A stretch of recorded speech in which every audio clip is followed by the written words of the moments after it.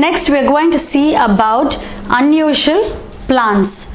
So we have the insectivorous plant and it is also known as your Venus flytrap. So insectivorous plants, some plants like your pitcher plant, your sundew, so your pitcher plant, sundew and Venus flytrap, they are both producers and carnivores. So plants like your pitcher plant, sundew and Venus flytrap are both producers and carnivores. Their leaves are modified in such a way that they trap insects. Therefore, they are known as insectivorous plants. So, their leaves are modified in such a way so that they are able to trap plants and hence they are known as insectivorous plants. In a pitcher plant, the leaf is shaped like a pitcher with a small lid. So, this is a, called a picture. So, this is a picture. So, the leaves of the picture plant is shaped like a picture with a small lid. The picture is brightly colored to attract insects. So, the color of the picture plant is pitcher plant is brightly colored so that it can attract the insects fast. When an insect enters the picture, the lid closes. So, it has a small lid and when an insect enters, the lid immediately closes. When an insect enters the picture, the lid closes. This traps the insect inside. Digestive juices inside the picture helps digest the insect. So the juices that are available inside the picture help digest the insect. So there are plants like your picture plant, sundew and Venus flytrap. They are both producers as well as carnivores and their leaves are modified to trap the insects. So they are known as insectivorous plants.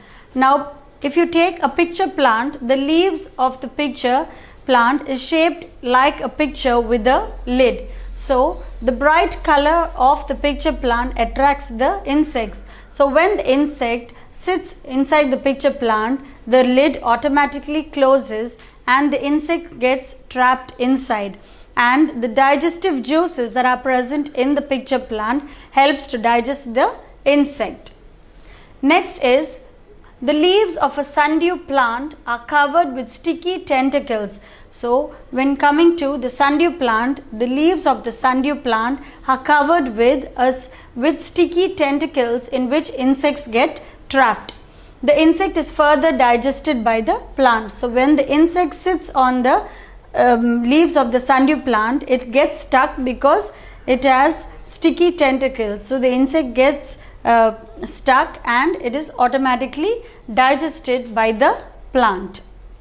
So this is about your insectivorous plants which are also producers and carnivores. The next unusual plant is your non-green plants. They are not green because of the absence of chlorophyll. Chlorophyll is the green colored pigment that provides the color.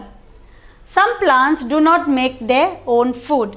So plants like mushroom and toadstool do not have chlorophyll and so cannot make their own food by photosynthesis. They absorb food from dead remains of plants and animals. Such plants are called saprophytes. So non-green plants. These plants do not make their own food and examples are your mushroom, your toadstool. They do not have chlorophyll and hence they cannot make their own food by photosynthesis. They absorb food from the dead and decaying plant and animals. So they are known as saprophytes. Next is your epiphytes. Some plants like mosses, ferns and many orchids grow on other plants. So there are certain plants that grow on other plants. That is your mosses, your ferns and many orchids. They grow on other plants. This allows them to reach positions where they can have better access to sunlight. So by growing on other plants, they are able to have a better access of the sunlight.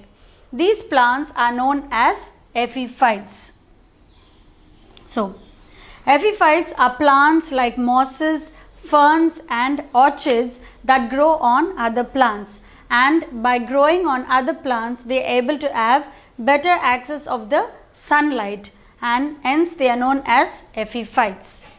As their roots are not in the soil, they absorb moisture. So, these epiphytes they grow on other plants. So, their roots are not in the soil and so they absorb moisture and nutrients from the air, rain and water. So, these plants uh, epiphytes they their roots are not in the soil. So, they absorb the air, water and nutrient. They absorb moisture and nutrients from air, rain and water or from the debris collecting around it or from the dust particles or the debris that is collecting around it.